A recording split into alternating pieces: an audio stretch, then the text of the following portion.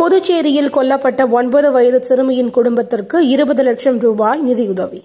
புதுச்சேரி அரசு உத்தரவு.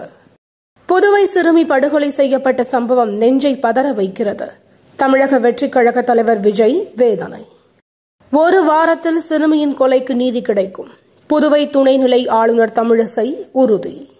குழந்தைகளுக்கு எதிரான குற்றங்களை இரும்பு கரம் கொண்டு அடக்க வேண்டும். அமைச்சர் உதயநிதி ஸ்டாலின் காட்டம். மக்கள் மனங்களை வெல்வதில் இந்தியா கூட்டணிக்கு எந்த சவாலும் இல்லை. முதலமைச்சர் மு ஸ்டாலின் பேட்டி. நீங்கள் நலமா என்று கேட்கும் முதல்வர் அவர்களே நாங்கள் நலமாக இல்லை. எடப்பாடி பழனிசாமி விமர்சனம். சனாதன பேச்சு தொடர்பாக அமைச்சர்கள் உதயநிதி சேகர் பாபுவை பதவி நீக்கம் செய்ய அவசியமில்லை. சென்னை உயர்நீதிமன்றம் உத்தரவு.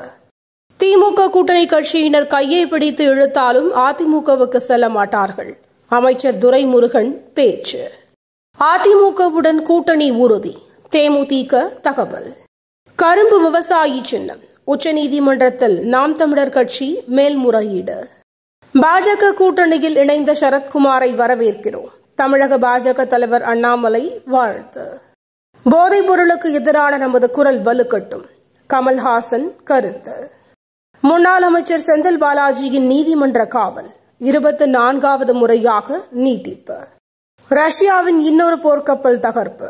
ட்ரோன் மூலம் தாக்கிய உக்ரைன் ராணுவம் தகவல்.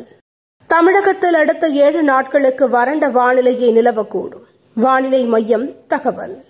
தினம் தினம் நடக்கும் முக்கிய நிகழ்வுகளை சுருக்கமாகவும் தெளிவாகவும் தலைப்புச் செய்திகள் வழியே அறிந்து கொள்ள கியூஎல்என் நியூஸ் சேனலை சப்ஸ்கிரைப் செய்யவும்.